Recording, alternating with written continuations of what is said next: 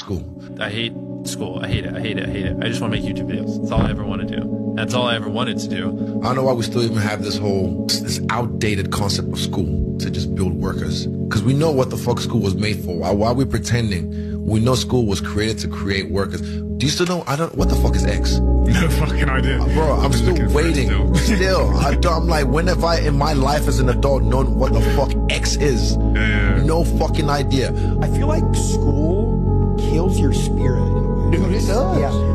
unless like there are some kids who just love it and like it's in their DNA. They just love school. What killed your spirit the most is bringing home homework on a weekend. Oh my god. Bro, like, what are you doing to me right now? Yeah. You know? So I go to college. It's community college. It's not that expensive, whatever. And I just couldn't stand it, man. It made me just so depressed. I just, I hate it. I hate stuff. I just want to be a YouTuber. That's it. And so after two weeks, literally just two weeks, I just stopped going.